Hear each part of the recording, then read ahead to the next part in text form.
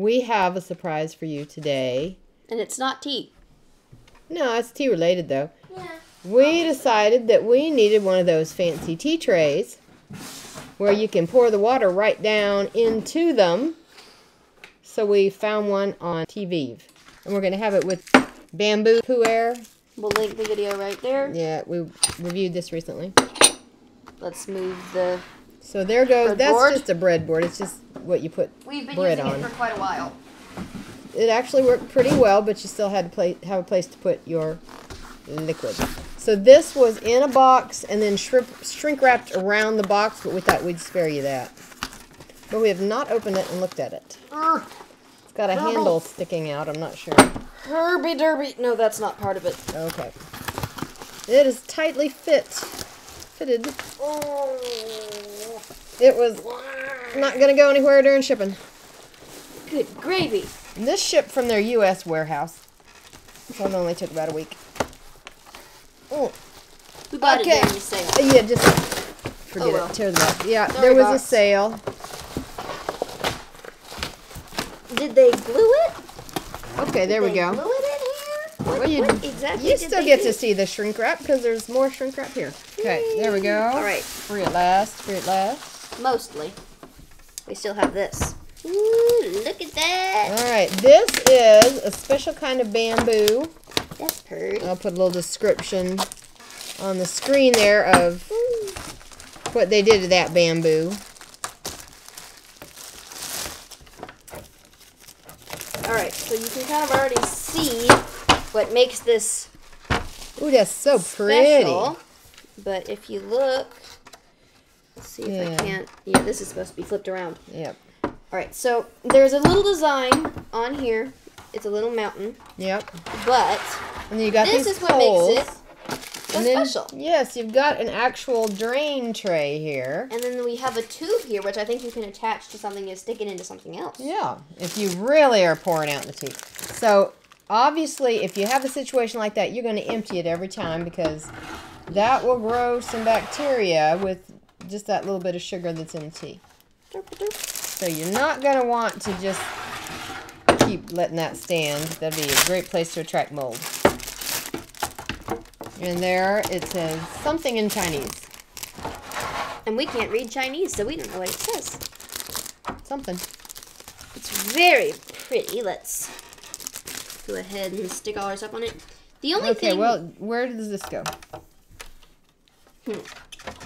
All right, so that I'm guessing would go into Right there. Okay. So we got this nozzle here. We're going to attach.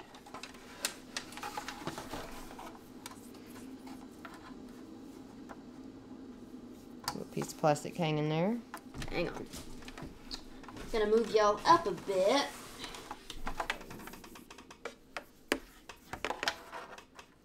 Oh, look, it has a cap here so that It won't leak. you Well, could cap handy. it if you did not want to pour it out somewhere. So I want to attach it and then we'll cap it because I don't know where we'd drain it. No, no, bowl. That'd be okay, really stupid it's, looking. uh, Are you? I'm trying to, yeah, okay, yeah, yeah, it goes on there. Uh, what are you doing? She's siphoning. Okay, so that drain It's not really that go, long. you know, it's not really long, but if you had a bucket somewhere under your tea set, you could drain off mass quantities. Now, But we not- don't. We're not going to use that. We're going to cap it. But it's interesting. Oh, it's like a little cork. But I wouldn't suck it. Yeah, a little cork. So that the water just sits in here and do drain that every time so you don't grow mold. Yes, Okay. please. That would be kind of disgusting. Next, I guess we'll have to get a teapot. Is this a teapot? This is- No, that's a hedgehog infuser. Okay, well, we'll stick it on here anyway. Okay, and I presume that this can handle the heat here. I would Let's hope find so. out. An actual teapot, when you pour water on it, it turns colors. And uh, Chinese say that you're offering some of the water to it.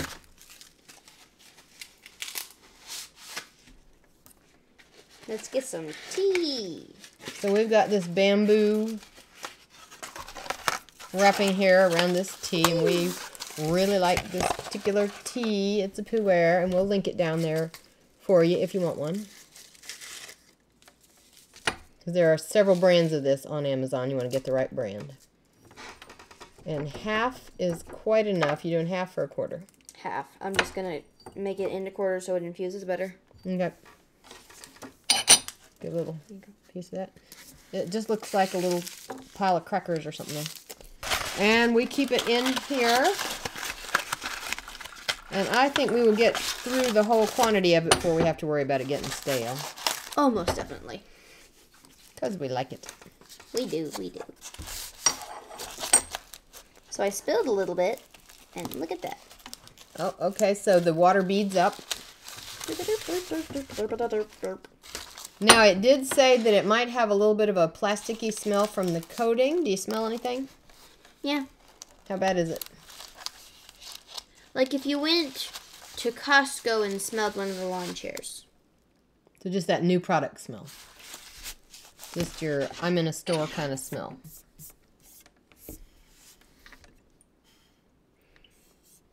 Now this would be the rinse, so shall we stick it in the tray? Stick or it is it dark enough for you? Well, yeah, do it like you would be gongfu brewing, for real. Because that's what we're doing. So the rinse, here we go. Pour it in there. It beads up. It goes in those little slits. There you go. And watch it disappear.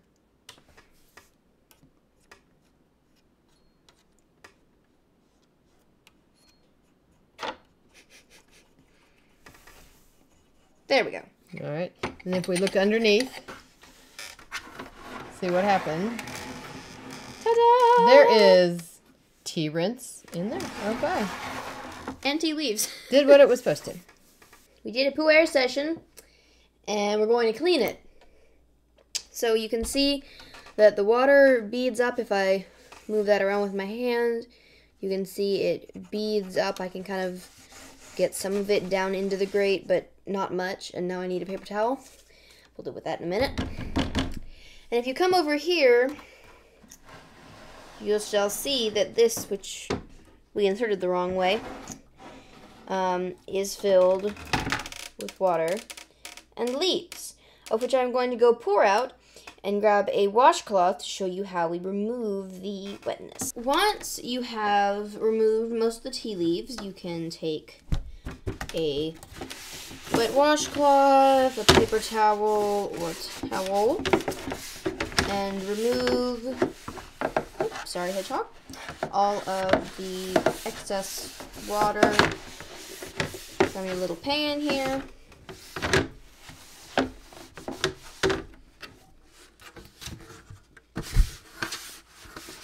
And then what we're going to do is we're going to lay it out and just kind of let it and dry out in the open. And then to clean this, what I'm going to do is first wipe off the top where most of the water has beaded up. And then to make sure that I get any water that has gone down to the surface but not yet dripped, I stick the towel underneath here, take my hand, and wipe along the bottom here. Now it is a nice height for a person to sit there and do this. Are you liking the height I'm on my as you knees, You're but underneath. I'm normally on my knees when I'm pouring when we're not in a video anyway. So it adds, Yeah. So what I did was I actually just moved the camera up a little bit so it would be more intimate. so it would actually, well, so you could actually see the tea because we have it normally about here instead of up here. okay, so we're adjusting our camera height because this is a little height. And I'll put the dimensions of it right there. And I don't even have to worry about getting a paper towel for spills. Isn't that lovely? That's lovely. Not something anybody really needs. It's just Fun. more completely doing the ritual.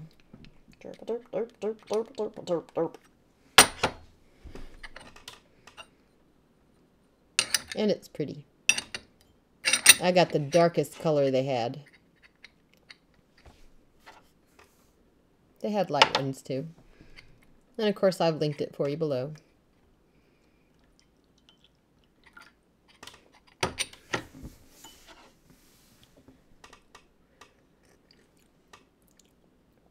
Mm, I like this tea. Rich, Sweet. dark, creamy. hmm Yep, it's a good tea. Okay, so the tray. It's not wood. Doesn't really seem like wood. It, But it's not plastic either. it, it's bamboo with a nice coating that makes the water bead up. So as you continue to watch our videos, you'll see how it wears. But here at first blush, I'd say I like it. And until we see you again, Make sure to make Time for Tea in a good book. and get some fun tea ware too.